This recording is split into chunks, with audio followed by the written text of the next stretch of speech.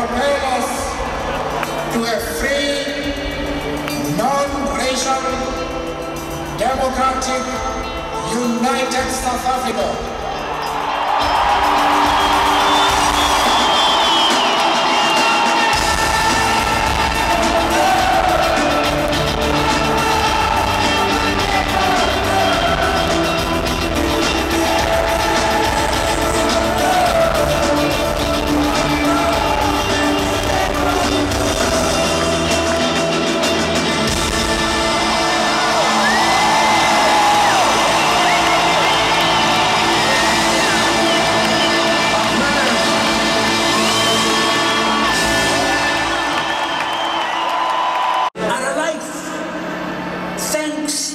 The miracle of AIDS drugs and malaria drugs.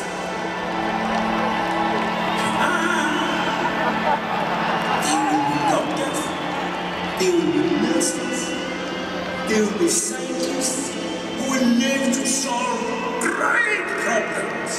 Yes, there are many obstacles. Of course,